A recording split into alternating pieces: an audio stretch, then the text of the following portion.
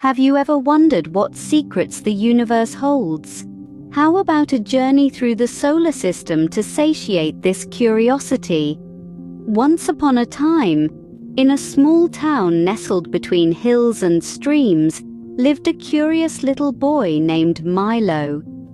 Milo loved to gaze at the night sky, wondering about the stars and the mysterious planets far, far away. One starry night, a comet whizzed past Milo's telescope, leaving behind a trail of glittering stardust.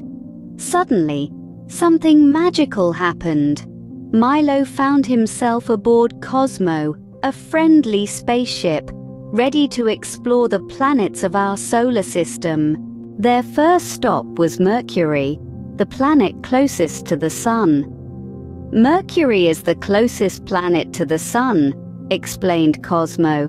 It's very hot during the day and very cold at night. Milo marveled at the extreme temperatures, a testament to the planet's extreme temperatures. Then they ventured to Venus, a planet shrouded in thick clouds and hotter than Earth. Venus is the same size as Earth but much hotter, Cosmo beeped. Milo was fascinated by the mysteries hidden beneath those swirling clouds. As they approached Earth, Milo's eyes gleamed with pride. Our home, he whispered, looking at the blue and green planet. The sight of Earth, their home, filled Milo and Cosmo with fondness and pride. From there, they journeyed to Mars, the red planet. Mars has the tallest volcano and the deepest canyon in our solar system, Cosmo informed. Milo imagined exploring the vast Martian landscapes. Next was Jupiter, the largest planet in our solar system, known for its great red spot, a massive storm. Milo was in awe of its sheer size. Saturn, with its stunning rings of ice and rock, left Milo dreaming of skating on those rings. Uranus, the icy blue planet, had a unique feature.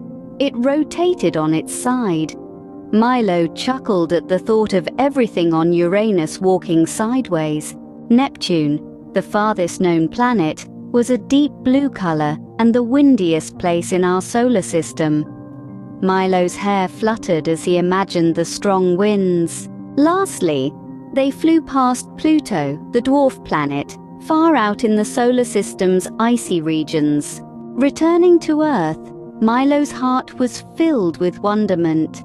He thanked Cosmo for the extraordinary journey, his mind buzzing with new knowledge and understanding of our solar system. The next morning, Milo woke up in his bed, questioning if it was all a dream.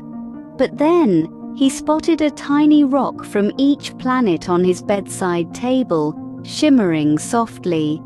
A smile spread across Milo's face. His journey among the planets was not just a dream, but the beginning of a lifetime of learning and discovery. And so Milo's adventure continues, proving that even a small boy from a small town can have big dreams and bigger adventures.